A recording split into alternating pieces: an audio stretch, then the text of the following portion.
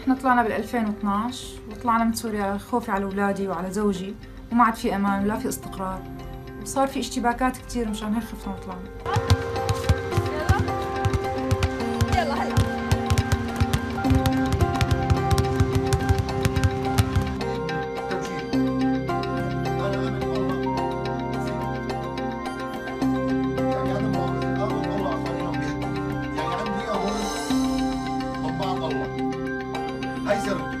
الشعر الامريكي كله إنسانية ومحبة وشفناهم تلفزيونيا وشفنا المساير تبعهم المسير تبعهم. محبتهم إلنا استقبالهم إلنا العطف تبعهم لأولادنا. هذا اللي حببنا بأمريكا. حببنا نطلع لأمريكا.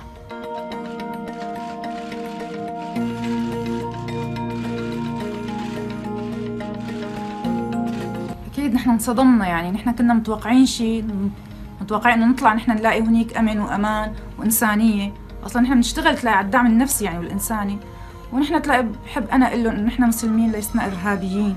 يعني هن دائما بيقولوا لنا إنه أنتم إرهابيين أنتم مسلمين أكيد إرهابيين بس نحن لا الإرهاب ما له دين.